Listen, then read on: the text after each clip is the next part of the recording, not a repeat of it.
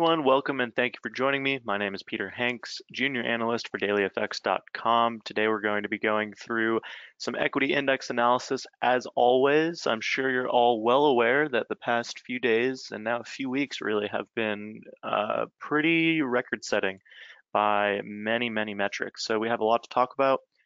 We just got a 50 basis point surprise emergency Fed rate cut yesterday. So uh, that's going to be at the top of the list alongside some of the price extremes that we've been seeing. Um, but without further ado, let's begin with a quick risk disclaimer. Hello, Patrick. Hello to everyone else in the chat. Thanks for joining.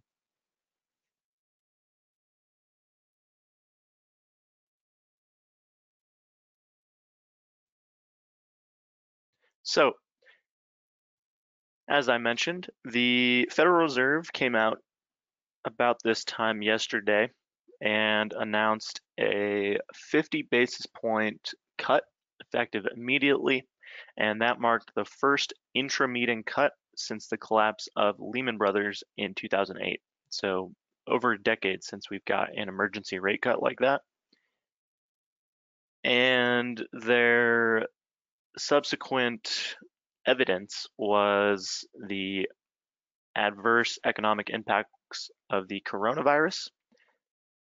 Chairman Powell came out and essentially highlighted the risks and the uncertainty, but he also conceded that, you know, identifying the the absolute depth and the possible duration of this headwind is very difficult and it's not really something the Fed is capable of because many other institutions uh, aren't either. But his willingness to ease and kind of prop up the market and the economy was mirrored in other major central banks like Australia, the Bank of Japan, this morning, the Bank of Canada, which also followed through with a 50 basis point rate cut. So there's alarm across the board from these central banks. There's also been talks of fiscal stimulus in many, many countries, including the United States. Uh, I think an eight, I'll have to double check on the figures, but um, there's talks of an aid package from the Senate this morning. So as we can see, there's a very concerted effort to come together and combat the larger economic impacts. And because of that larger effort, it's actually kind of resulted in a little bit of um, unease. The rate cut yesterday, and we traded higher at the onset, but eventually, let me bring up a uh, price chart here actually. We traded higher initially, but once investors and traders started to kind of think about what the rate cut actually meant, I think it was somewhat widely accepted that the drawdown or the potential drawdown could actually be deeper than many analysts had previously thought. So, because of that, there was a little bit of worry um, and that's why we pulled back somewhat yesterday. This morning, up about 2% or thereabouts. And you can see the uh, the pullback here yesterday. But this morning, up about 2%, and bringing it back to the PowerPoint, the past two to three weeks have really put us at extremes from a price perspective. So here in the blue, we have the Dow Jones going back to 1920, about 100 years of data. In purple, we have the instances of a decline or a five day period with a decline of 10%, followed by a day of a 5% gain. So last week, the Dow Jones declined around 12%, just rounding it off a little bit. And then on Monday, we got that incredible rally that put us up 1,300 points on the Dow, which translated to 5.09 or 5.12%. That type of volatility is incredibly infrequent. This is 100 years of data, and apart from the 30s and uh, wartime period in here, so 1940 to present, it's only happened about 16 times. We can look more closely at some other instances where it's happened. Here's one in 2002 during the summer. This is still when the market and the economy was wrestling with the uh, dot-com bubble and the ramifications of it bursting. So weeks and months of declines leading up to it, extreme volatility near the bottom, and you'll notice just because we did get something that fit this um, somewhat cherry-picked stat doesn't mean that we were out of the woods. Uh, a lot of volatility was to come. Now, because it is so volatile and because there is something under the surface in the economy or a larger issue that makes it necessary or that sparks this volatility, uh, it often forces the hand of these central banks. And that's why over the longer term, we'll see across the board generally as we shift to 2007, 2008, that we pull out um, into the positive. Looking here at the number of instances in 2008 after the um, housing crisis and the Great Recession, as it's called, we can see a string of them in late 20 or 2008, and then a few at the absolute bottom in 2009. This about coincides with the Fed cutting rates very significantly down to the floor. And in the weeks to come, as recovery took hold, the Dow Jones began to climb, but there was still volatility after these events. So what I'm trying to get at here is just because we have had this volatility and now we have a, um, a Fed put, or maybe not a put at this point, but more of a, a lifeline, really, um, doesn't mean we're out of the woods. So when we begin looking at technicals, keep that in the back of your mind. There's still a lot of uncertainty rampaging, and um, risk management will be very, very important. So now shifting to this week or the present, here's our run up from 2015, 2016, 2017, even the volatility that we got at the end of 2018, where we nearly slipped into a bear market, didn't really fit the criteria uh, that we've laid out here. This Monday, though, is the first instance since 2008 it was followed a day later by the Fed cutting by 50 basis points. So maybe they saw my article. I doubt it, but that's where we are now. And holding on to this and leveling off, I think is going to take some follow through from some of the other central banks that haven't done anything yet, or if there's a potential talk of stimulus on the fiscal side one encouraging thing, but not that encouraging because it's pre-coronavirus, is US, uh, US ISM non-manufacturing PMI came out this morning, surged to the highest in over a year at 5730.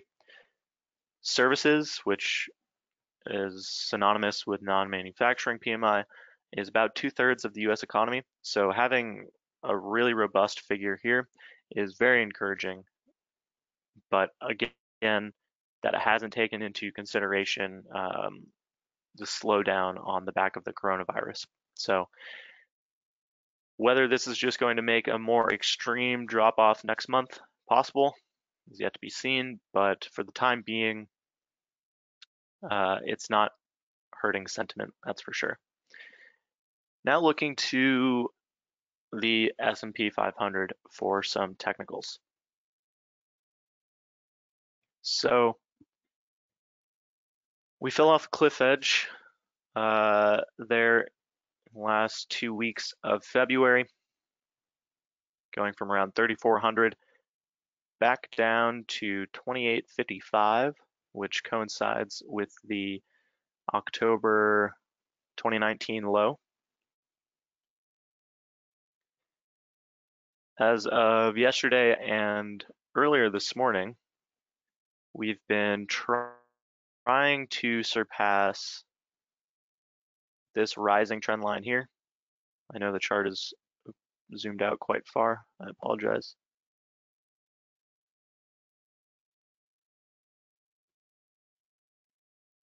So looking at the highs established back here in January 2018, touching off the tops in August, September later that year, again in July 2019, and it provided a little bit of buoyancy there in December 2019. We fell beneath last week. We seem to be leveling off today. There may be a, a corollary effect from Super Tuesday. Mike Bloomberg announced he was dropping out of the presidential race earlier this morning. A number of other candidates have done as well. Joe Biden beat out Bernie Sanders, so Wall Street is certainly rejoicing about that. Uh, I think it's widely accepted that Biden would be the more business friendly candidate of the two. So seeing Sanders slip in the polls could have had some positive impact, but I think over the coming weeks, um, the virus is still going to be the main concern until we get deeper into the presidential race. But from the technical perspective, 3100, where that trend line lives, and the 200 day simple moving average, both hanging out around that level, 3094, 3100. So that's going to be a very, very difficult area to hold above. And then beyond that, we do have this trend line from the December 2018 lows and the October 2019 lows. So that's just narrowly overhead, 3150, let's call it. On the support side, we got a little bit of a bottom in here, and this long lower wick is actually very encouraging. Um, followed by a huge candle higher. So early support going to be around 2876 with subsequent assistance potentially coming into play around 2800, 29 or 2790. That comes off the June and August lows. The NASDAQ looking here at a four hour chart instead of a daily. Got the bounce off confluent support around 8200. A ton of trend lines in here.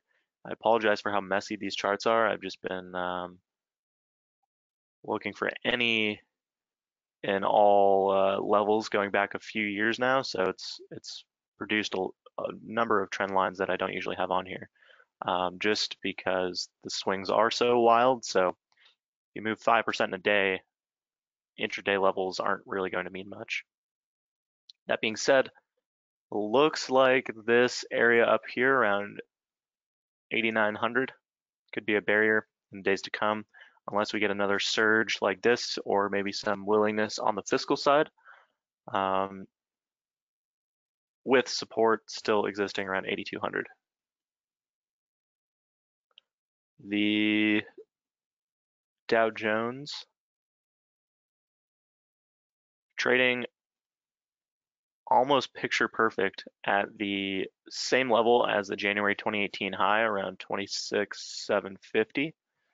You zoom out, you'll notice circle here where we are today and uh, a similar circle over here. And that is where we're at. So that's going to be the nearest form of resistance joined by this ascending band beneath for some support. it didn't really do too much last week, but if volatility slows down a little bit, we might see it play some role uh, before subsequent areas come into play. Mainly this one at the June 2019 low around 24,620. So the US seems to have leveled off. Now we're negotiating some pretty major resistance to the top side. And because we did far fall so far so fast, um, there's going to be quite a number of technical levels to take out. Just clicking, just, excuse me, I apologize. Just taking a quick look at the Russell here. A while back, I noted the range that it was stuck in. This was probably around November when we were talking about it because it was just struggling to break above this level at 1600 took weeks of probing this barrier to finally break above, get some gains under its belt before it ran into another level of resistance at 1715. Well, the those months of progress were erased about 10 days here. Now we're back at the bottom of that trading range around 1500. Um, tagging lows around 1445.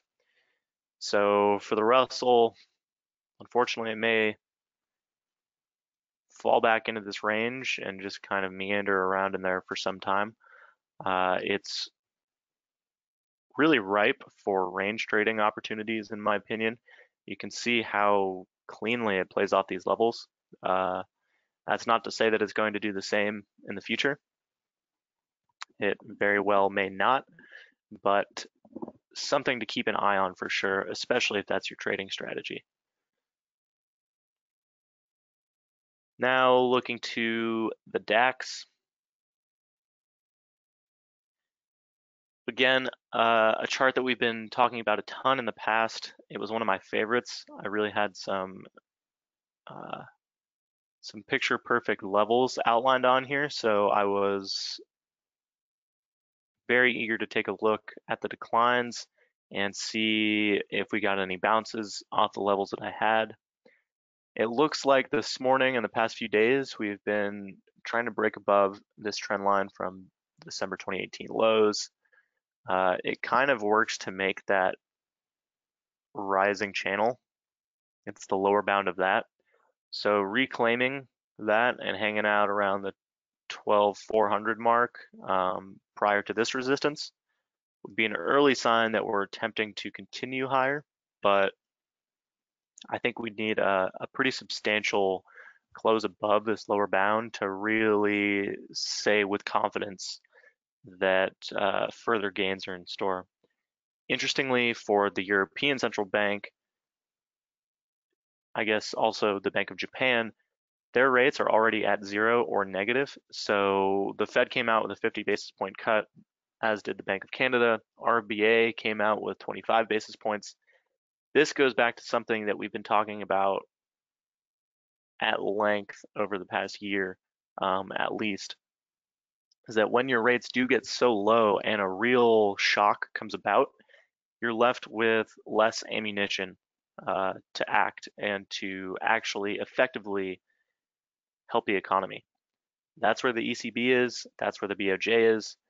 The Fed cutting by 50. It's moving closer to that point. Um, and we also have the March 18th Fed meeting coming up. Futures are already pricing in a 25 basis point cut there at least. There's even inklings that another 50 basis point cut is possible. The market hasn't really been wrong about its forecasting of cuts recently. So if they're pricing in a cut, more likely than not, um, the Fed is going to deliver that cut. Now, it becomes a question of who's leading that. Is it the Fed truly acting on what it's seeing? Is it the market forcing the Fed's hand? Is it pressure from the Trump administration, specifically Donald Trump himself, President Trump? Um, that's we don't really have insight into that. But what we do know is the European Central Bank is effectively as low as it can go right now. So fiscal policy is going to most likely be their uh, avenue to combat any drawdown. Something we talked about earlier in the year, there were already rumors of it, especially in Germany, because they are running a, a budget surplus. So if they can move anything around there, that may boost their economy and in turn help the DAX. But in the meantime, I expect it to lag the US indices a little bit. It just doesn't quite have the same gusto, I guess, if you will, that uh, that the Dow Jones, the Nasdaq, and the S&P do. So this trend line going to probably be a major barrier over the coming days. If we get up into that confluent area around 12,500, uh, that'll only increase the resistance further. So that's it for the technicals today. Quickly looking at the economic calendar because we do have some data coming out. Beige book later today. I don't think that will really do too much at all because so much has shifted since that was likely compiled. So I think what is more important coming up on Friday is jobs data because now that we've got the lower rates from the Fed, we're closer to zero. We got something many analysts were calling for, further rate cuts, but investors, traders, analysts, central bank officials, government officials pretty much all agree that the impact of the coronavirus is going to be a very short term lived issue. It's not going to be structural. You're not going to lose huge swaths of your population and never return to growth that you had previously. It's just kind of like a, a poor retail spending holiday. Um, people don't get out, maybe because of weather. In this case, it's a virus, so conferences are being canceled, travel's slowing, all that stuff. Um, most likely, many people are still employed.